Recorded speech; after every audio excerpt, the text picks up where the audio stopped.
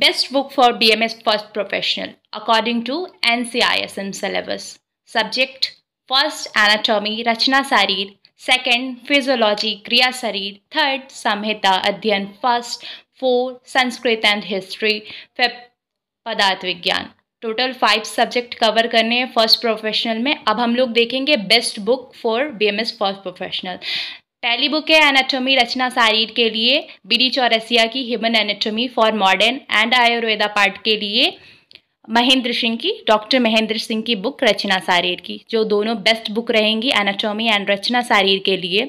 Second बात करिए physiology क्रिया शरीर की तो मॉडर्न पार्ट के लिए बेस्ट बुक रहेगी शंभुलिंगम की मेडिकल फिजियोलॉजी और क्रियासरी यानी कि आयुर्वेदा पार्ट के लिए डॉक्टर कृष्ण मिश्र की बुक सबसे बेस्ट रहेगी according to N C I S M syllabus then उसके बाद थर्ड जो सब्जेक्ट है, वो है संहिता अध्ययन। संहिता अध्ययन फ़र्स्ट के लिए सबसे बेस्ट बुक रहेगी ब्रह्मानंद त्रिपाठी की, जिसमें फ़र्स्ट पार्ट आष्टांग हृदय के one two fifteen chapter cover करेगी और second part one two twelve chapter Charaka Samhita के कवर करेगी। ठीक है?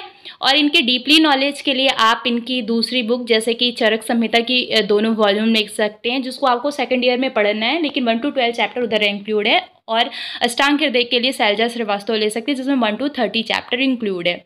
ठीक है बेस्ट बुक रहेगी फ़र्स्ट ब्रह्मानंद त्रिपाठी की। फोर्थ है संस्कृत हिस्ट्री संस्कृत हिस्ट्री के लिए आप ले सकते हैं अनुवाद चंद्रिका। डॉक्टर यादुनंदन मिश्र और वैदिकीय सुभाषतानी के लिए ले सकते हैं वैदिकीय सुभाषतानी साहित्यम। सबसे अच्छी बुक रहेगी। अब उसके बाद है पदार्थ विज्ञान।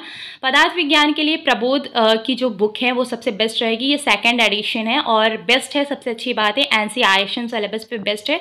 तो न्यूली सिलेबस बेस्ट है तो आप ये वाली बुक ले सकते हैं पदार्थ विज्ञान के लिए, जो सबसे बेटर है। बीएमएस लेक्चर सीरीज़ की लेक्चर्स के साथ जुड़ने के लिए आप हमारी application B M S lecture series Varanasi को प्ले स्टोर से डाउनलोड कर सकते हैं।